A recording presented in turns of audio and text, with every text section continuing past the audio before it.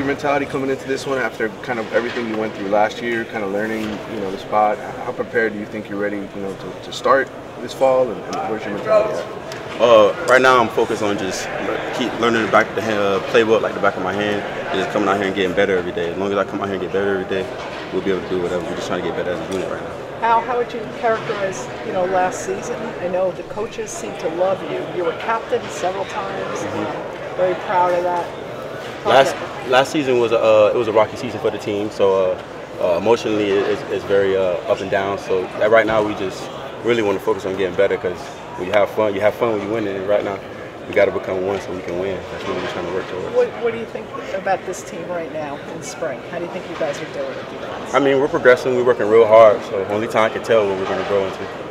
How are you doing? How, how, have you improved as a cover guy since you got here, and uh, how is practice going? I think Coach Rumph doing a great job of grooming all the DBs. We're coming along every day. We're coming out here working on something new every day. So we all adding new tools to our belt every time we come out here. What would you say is the biggest lesson you learned last season?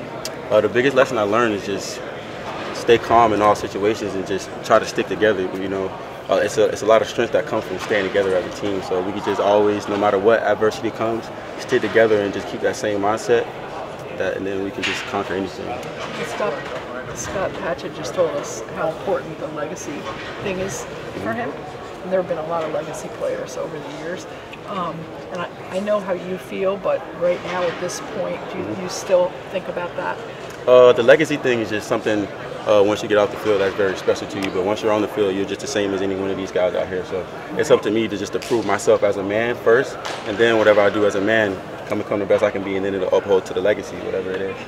What was your focus uh, in terms of getting your body different maybe from the last year? Put on weight, get stronger. What was sort of the difference? Uh, I've always been a guy that loved the weight room. Coach really can t- to test to that because no matter, whenever I go in the weight room, I feel like it's like man versus iron. I feel like it's up to me like I'm in control of how much weight I gain, I'm in control of how strong I am. So whenever I go in the weight room, I just want to attack it with the mindset of let's let's just get better. What is what did you measure height, weight, and, uh, and fat percentage? Uh, I believe I was six six one, one like 188, and then like 4.7 percent body fat. You can't get much less than that. I came in I came in pretty low. I'm trying to still put on some body fat right now. Uh, what's the biggest area of your game that you want to improve on this spring? What are you concentrating the most I want to on? improve everything. Uh, as far as as far as just being able to react fast, that, that comes with the playbook. Um, I just want to improve as a as an overall defensive back. Just making plays. It's all about making plays as a, uh, as a cornerback and sometimes just playing your role.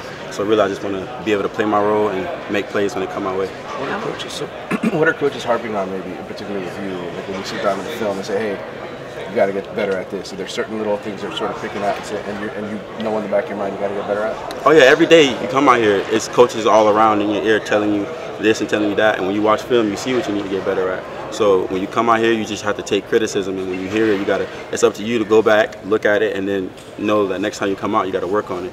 So really, really, it's just all the coaches, Coach Diaz, Coach Rumph, Coach Binder, they all, they all are on you, helping you get better, because that's what they want at the end of the day. So what do you have to get better at? Uh, me personally, I just got to get, just become better as an overall player. I mean, it's, it's, it's always that level where you can be good, you can be great, or you can be legendary. So right now, you don't want to be stuck at good or great. You just want to try to reach for the top.